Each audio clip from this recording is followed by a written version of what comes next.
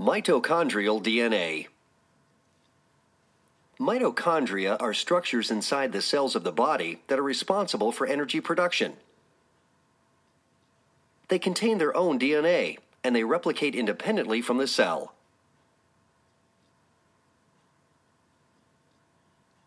Mitochondria are passed through a mother's egg directly to both her sons and daughters. In turn, her daughter, but not her son, passes mitochondrial DNA to her children.